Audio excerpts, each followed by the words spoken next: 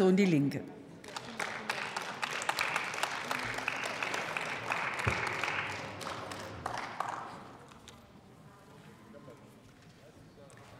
Frau Präsidentin, meine Damen und Herren!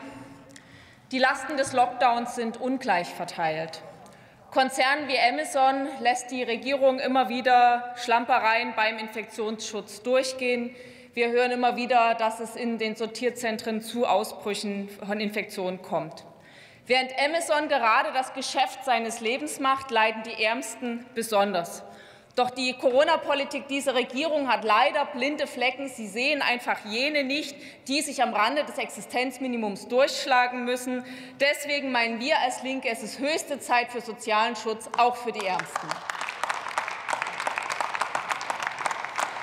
Zu einem solidarischen Lockdown gehört erstens die Erhöhung des Kurzarbeitergeldes auf 90 Prozent. Denn für Menschen mit niedrigen Einkommen bedeutet Kurzarbeitergeld, dass sie die laufenden Ausgaben nicht mehr decken können. Zweitens. Die Hartz-IV-Sätze reichten schon früher nicht. Nun kommen Corona-bedingte Mehrausgaben hinzu. Höchste Zeit für einen Corona-Zuschlag oder für Regelsätze, die eben nicht kleingerechnet werden. Eine der Tücken von Hartz IV ist die Anrechnung des Partnerinneneinkommens. Das bedeutet in der Praxis zum Beispiel Folgendes. Ein Künstler, dem durch den Lockdown alle Einnahmen wegbrechen, könnte theoretisch Grundsicherung beantragen. Dabei muss er aber das Einkommen seiner Partnerin angeben. Sagen wir mal, sie arbeitet in der Pflege. Je nachdem, wie die Wohnkosten ausfallen, könnte schon beim Einkommen der Partnerin von 1.600 Euro netto der Familie ihm komplett die Grundsicherung verweigert werden. Das heißt, die gesamten Kosten des Paares müssten dann durch das Gehalt der Pflegerin gedeckt werden, die gerade für unsere aller Gesundheit sich einsetzt. Finden Sie das gerecht?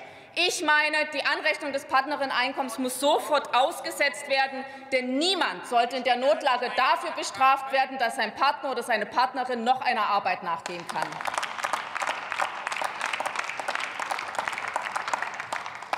Armut und Hartz IV das galt vor Corona für viele als etwas, was nichts mit dem eigenen Leben zu tun hat.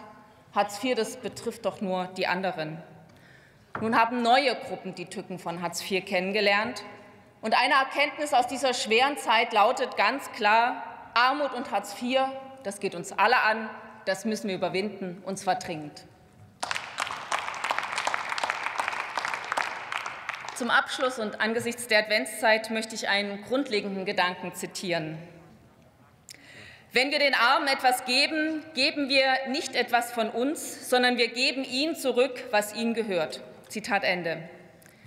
Wir geben ihnen zurück, was ihnen gehört. Ja, meine Damen und Herren von der CDU, da könnten auch Sie klatschen, zumindest die Katholiken von Ihnen, denn diese Worte stammen aus der Enzyklika von Papst Franziskus. Wenn wir also hier über sozialen Schutz reden, und ich komme zum Schluss, reden wir eben nicht über eine milde Gabe, die auf einer besonderen Großzügigkeit der Regierung basiert, sondern wir reden über eine Selbstverständlichkeit, die jedem zusteht, nämlich garantierter Schutz vor Armut und garantierte Teilhabe an der Gesellschaft. Vielen Dank. Vielen Dank, Frau Kollegin Kipping.